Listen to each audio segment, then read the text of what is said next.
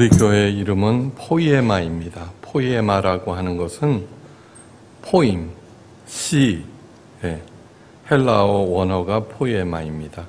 그러니까 우리 교회는 시입니다. 그것처럼 아름답고 어, 다른 사람들의 마음을 따뜻하게 해주는 그런 존재가 되어야 합니다. 이제 어, 가을의 문턱 9월에 여러분들에게 시 한 편을 어, 읽어드립니다. 그러니까 그 나이여서 시가 나를 찾아왔지. 몰라 그게 어디서 왔는지 어떻게 왔는지도 모르겠어. 아니야 그건 목소리가 아니었고 말도 아니었고 침묵도 아니었어. 하여간 어떤 길에서 나를 부르더군.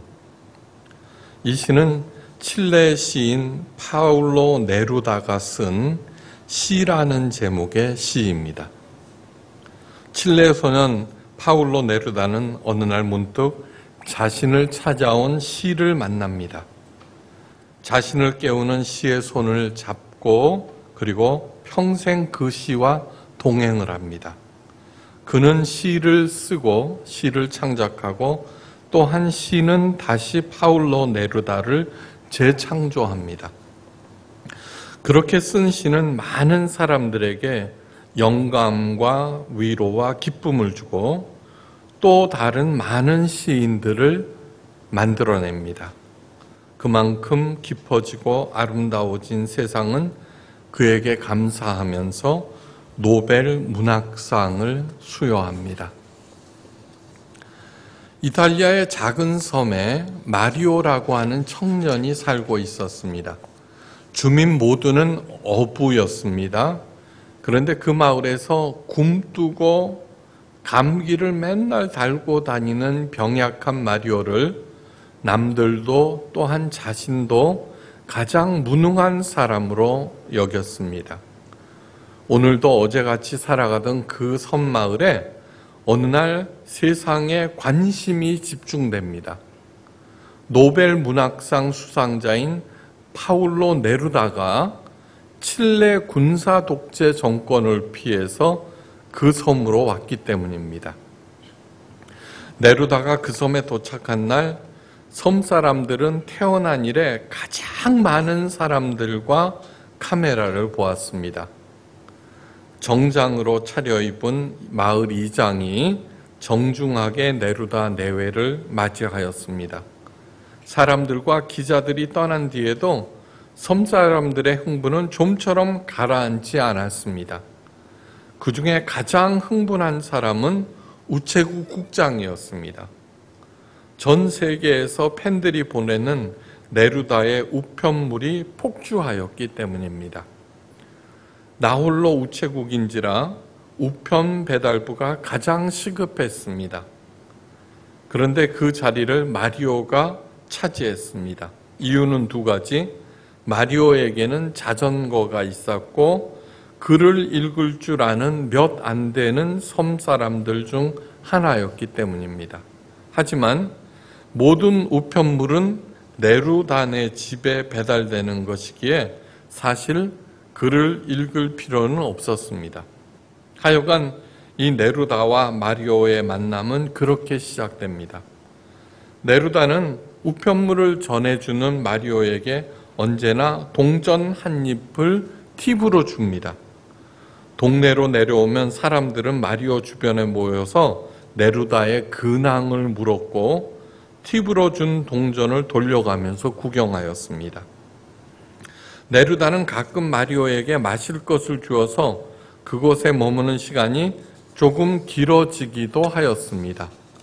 어느 날인가 마리오가 네루다에게 눈치를 살피면서 조심스럽게 질문합니다. 선생님, 은유가 뭐예요? 이것이 마리오의 첫 번째 질문입니다. 그 질문에 네루다가 무심히 다시 질문합니다. 하늘이 운다는 것이 무슨 뜻이지? 네, 비가 온다는 뜻이에요. 그게 바로 은유야. 그게 그날 대화의 전부였는데 그러나 마리오에게는 특별한 습관 하나가 생깁니다. 무엇이든지 은유로 바꿔보는 습관입니다. 어느 날인가 마리오가 또 조심스럽게 질문하였습니다. 선생님, 시는 어떻게 쓰는 것이에요? 이것이 그의 두 번째 질문입니다. 네루다가 대답합니다. 해변을 따라 걸으면서 주변을 한번 느껴봐. 그러면은 시를 쓸 수가 있어. 그 섬에서 가장 무능한 청년 마리오는 그렇게 점점 시인으로 재창조되어 갔습니다. 모든 인간들은 이 세상에 태어난 모든 인간들은 외부로부터의 자극에 반응하면서 존재합니다.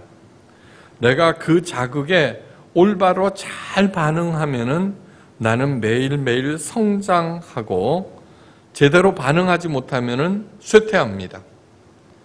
아무리 대단한 것이 주어진다고 해도 그의 잘못 반응하면은 오히려 큰 화가 됩니다.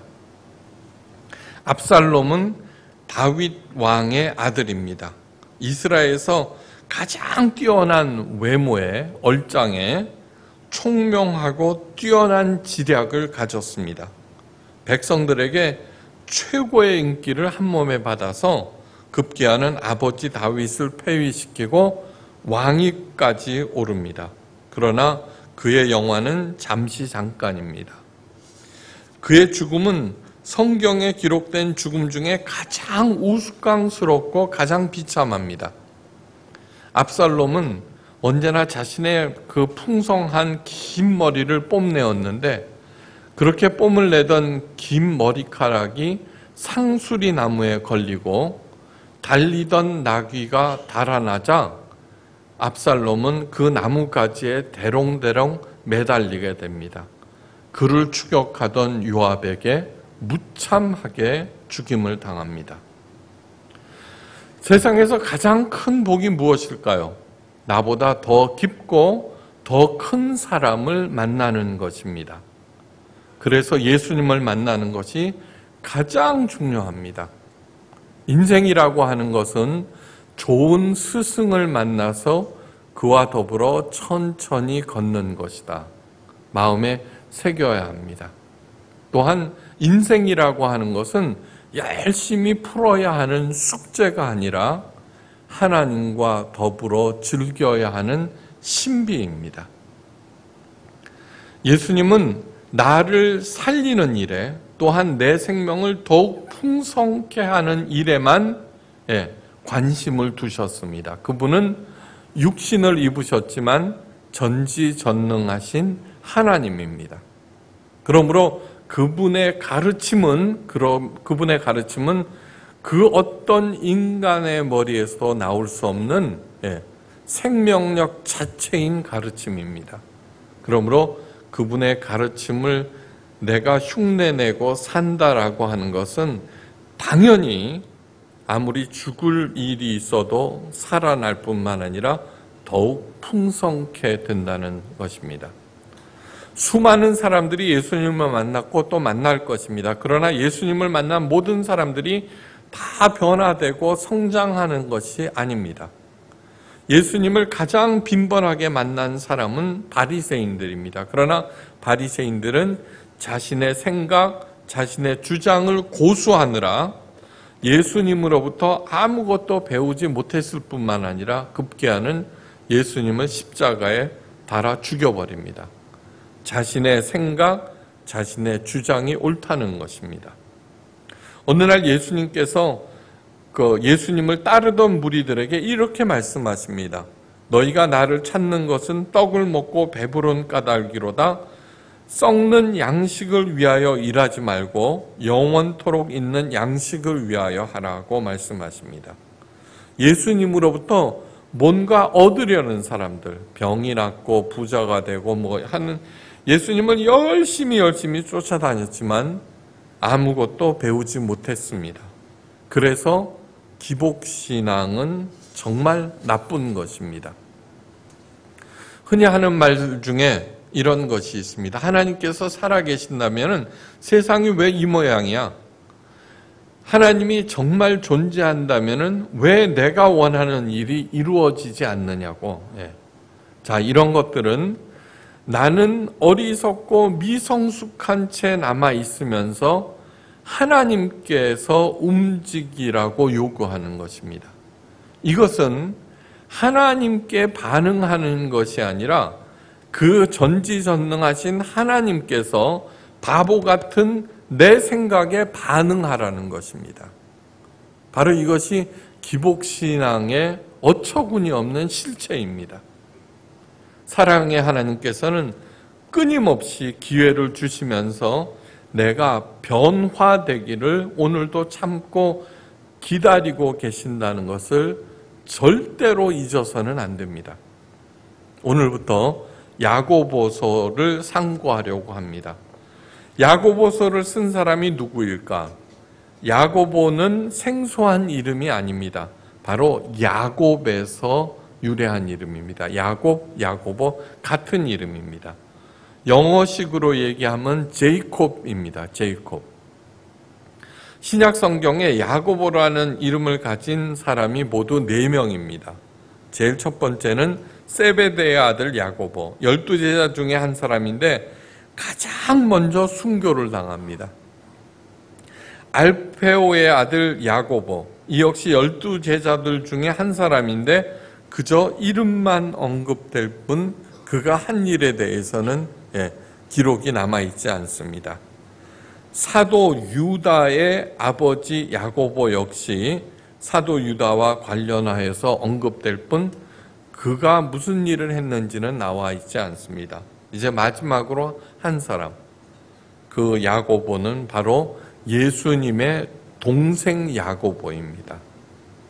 예수님의 동생 야고보가 이 야고보서를 쓴 것입니다. 예수님께서 부활 승천하신 후 예루살렘 교회 지도자 중에 한 사람으로서 초대 교회 발전을 위해서 맹활약하였습니다. 그러다가 바로 그 유명한 네로 황제 박해 때 순교를 당하고 육신의 형님이신 예수님 곁으로 돌아갑니다. 자, 어린 시절부터 함께 커온 동생으로부터 존경받는 형이 되기는 굉장히 어렵습니다. 그죠?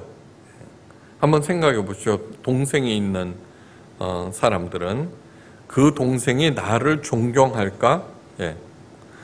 존경은커녕 사이가 나쁘지 않으면 다행입니다. 그런데 야고보는 자신의 형 예수님이 정말 하나님의 아들임을 믿었고요. 예. 만약에 자기 형이 나는 하나님의 아들이라고 그러면 어떻게 돼요? 정신병원에 보내죠, 그죠? 예. 그런데 그 얼토당토한 주장을 하는 형 얘기를 믿게 되었습니다.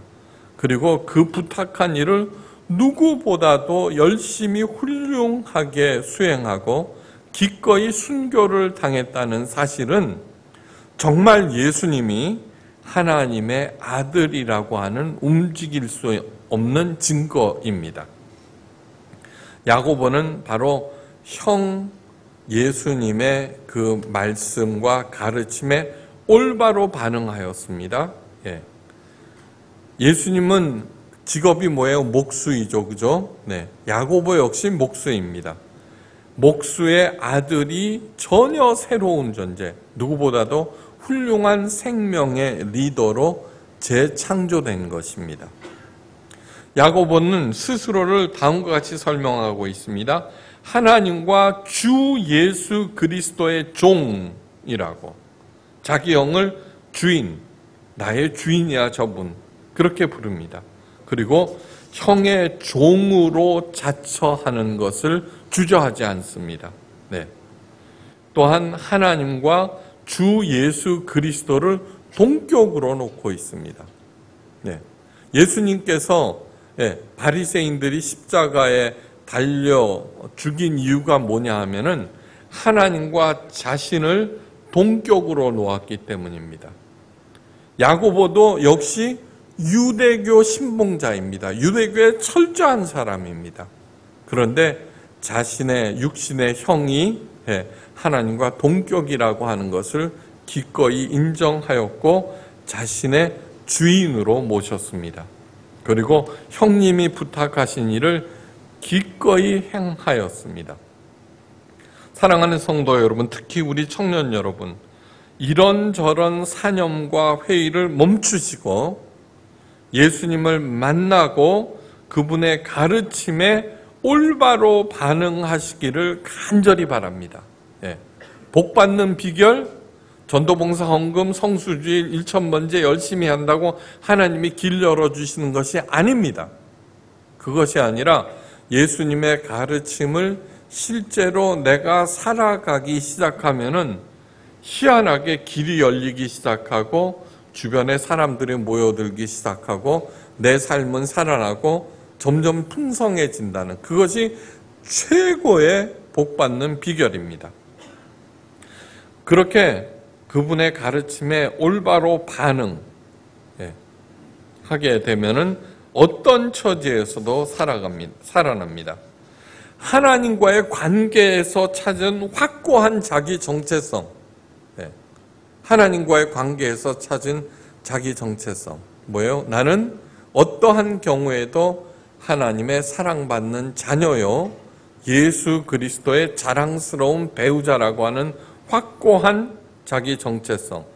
그리고 하나님과의 관계에서 분명한 삶의 목적. 네, 그걸 찾으십시오. 삶의 목적이 뭔지 아십니까? 내가 가장 잘할 수 있는 것이 바로 하나님께서 내게 주신 삶의 목적입니다. 네. 왜요? 예, 너 이제 지구로 여행 가는데 그거 갖고 너 먹고 살아라 그런 뜻입니다. 그런데 사람들은 세상에서 얘기하는 돈이 되는 그러한 일을 찾아서 자기가 원래 갖고 있는 하나님께서 주신 그러한 재능들을 발휘할 기회를 찾지를 못합니다. 또한 이것으로 그저 내 잘 먹고 잘 살겠다는 생각을 버리십시오. 그 재능을 통하여서 하나님께 영광 돌리고 이웃에게 덕을 끼치겠다는 생각으로 그냥 무슨 일이든지 하기 시작하면 길이 막 열립니다. 아무도 동의를 안 하시네. 네. 아니 뭐 한번 해보십시오. 네. 그렇게 확고한 자기 정체성과 분명한 삶의 목적은 출신 성분과 상황에 흔들리지 않는 빛나는 인생을 살게 합니다. 야고보서는 편지입니다. 편지는 수신자가 있게 마련입니다. 그 수신자들은 흩어져 있는 열두 지파들입니다. 예루살렘에서 첫 박해가 일어나고 기독교인들은 어, 여러 곳으로 흩어졌습니다. 그리고 각자 거기에서 신앙을 지키면서 성실하게 살면서 전도도 열심히 합니다. 기독교인들이 점점 불어나기 시작하였습니다. 그러자 타 종교에 관대하였던 로마까지 박해를 가하기 시작하였고 그러자 신앙이 흔들리고 교회를 떠나는 사람들, 배교자들마저 생겨났습니다. 그 상황에서 예수님의 동생 야고보는 그들을 격려하고 위로하고 신앙의 지조를 지킬 것을 당부하면서 이 편지를 쓴 것입니다. 이 편지에서 야고보는 엄청난 말을 합니다. 내 형제들아, 너희가 여러 가지 시험을 만나거든 온전히 기쁘게 여기라. 야고보서를 쓸 당시 이미 말씀드렸습니다. 기아와 질병과 박해, 핍박, 위험은 가장 가까운 곳에 있었습니다. 언제 죽을지 모르는 상황입니다. 그때 야고보 사도로부터 편지가 도착하였고 사람들이 모였습니다. 누군가가 일어나서 그 편지를 읽습니다. 사랑하는 형제들아, 너희가 여러 가지 시험을 만나거든 온전히 기쁘게 여기라. 분명 예상치 못한 큰 충격이 온 회중에 덮쳤을 것입니다. 왜요? 온갖 시험에 마음은 사정없이 흔들리고 기쁜 회의에 심신은 더 이상 버틸 여력이 없습니다. 그 당시 예수를 믿는다는 것은 목숨을 담보하는 일이었습니다. 시험은 너무나 두려워서 한사코 피하려고만 하였고 하나님까지 원망할 정도였습니다. 그런데 시험이 찾아오면 어떻게 하라고? 하라고 말하고 있습니다. 그것도 온전히 기뻐하라는 것입니다. 그런 생각은 그동안 단 한 번도 해보지 못했습니다. 단 한 번도. 오늘날에도 마찬가지입니다. 어떻게 해서든지 환란과 역경 시험은 피하려고만 했습니다. 한사코 그것이 왔다고 그러면 어떻게 해요? 하나님이 살아계시냐 뭐하냐 뭐 따지고 들었습니다. 네. 그것이 우리들의 통상적인 반응입니다. 그러나 이 말씀을 통해서 그것은 잘못된 반응이라는 것입니다. 잘못된 반응이 인생을 어떻게 돼요? 예, 망쳐버립니다. 편지가 이어집니다. 이는 너희가 믿음의 시련이 인내를 만들어내는 줄 너희가 알미라. 가만히 생각해 보니까 그렇죠. 지금까지 이를 악물고 어렵게 해온 것이 무가치한 것이 아니라는 뜻이기도 합니다. 편지가 계속 이어집니다. 인내를 온전히 이루라. 이 말을 들으면서 끝까지 참고 인내하면은 하나님께서 곧 구원해 주시겠구나 하는 생각이 듭니다. 그러나 아닙니다. 이는 너희로 온전히 구비하여 조금도 부족함이 없게 하려 함이라.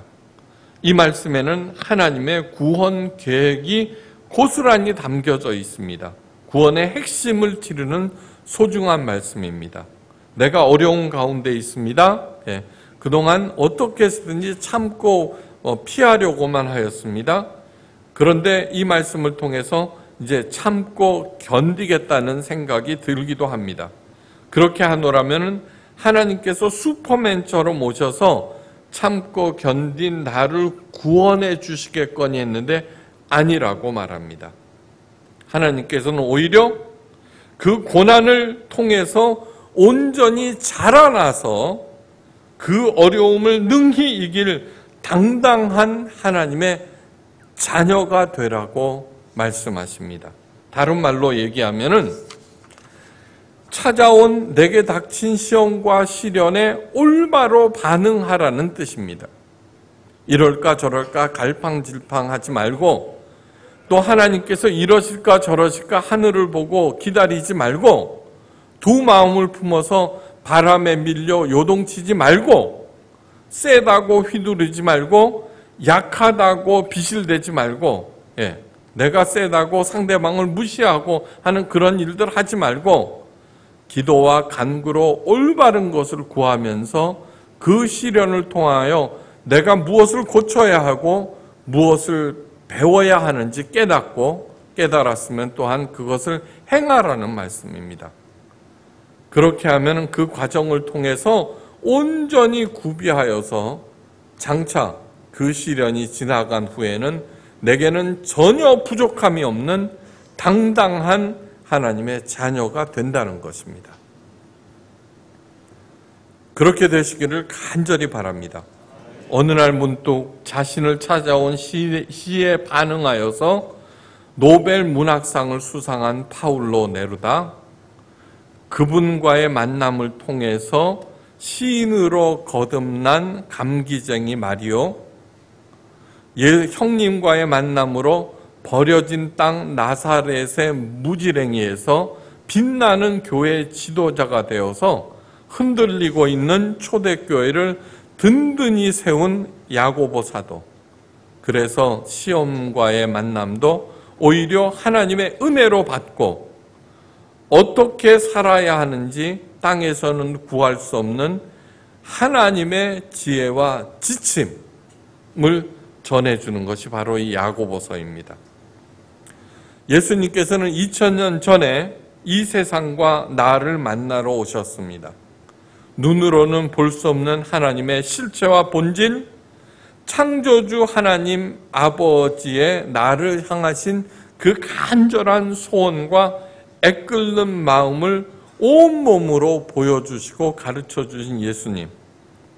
그분을 만난 나는 이제 시련을 어떻게 반응하고 있는지, 어떻게 내 자신이 재창조되고 있는지 점검해 봐야 합니다.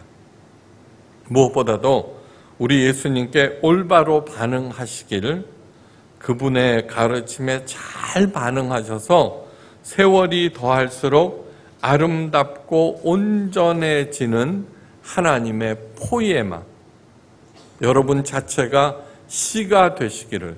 그래서 어디서나 존경받고 무슨 일을 하든지 백배의 결실을 맺어서 끝도 없이 베풀고도 남는 모두가 되시기를 주의 이름으로 간절히 축원합니다. 기도하십니다.